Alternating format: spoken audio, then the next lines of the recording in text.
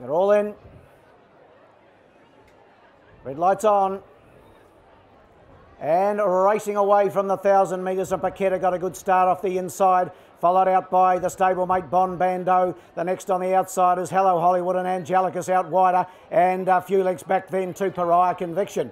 But it's Paqueta in front by about three parts of a length from Hello Hollywood, getting up alongside it. Angelicus is the next one. Bon Bando dropping back and Pariah Conviction. He's about six or seven lengths away as they come across the top with about 600 to go. On the inside is Paqueta. On its outer is Hello Hollywood. Just in behind them there is Angelicus. Five or six back to Bon Bando and Pariah Conviction. You can just about forget about as they come out into the centre of the track. And it's Paqueta on the inside, but about four off the inside fence. On its outside is Hello Hollywood and Angelicus joining in down the outside for young Maloney. Angelicus has gone to the front out in the centre of the track, out beyond the centre. In fact, Paquetta battling away on Hello Hollywood, but it's Angelicus, and this is Dan Morgan's first win as a trainer. Dan Morgan, good on you, mate. Angelicus wins it. Second all, good run along the inside by Pariah Conviction. That's a photo with Hello Hollywood. Paquetta a weakening fourth, and Ban Bon Bando never got into it. But Angelicus, Alec Maloney, his first winner here on his first day's riding at uh, Tennant Creek.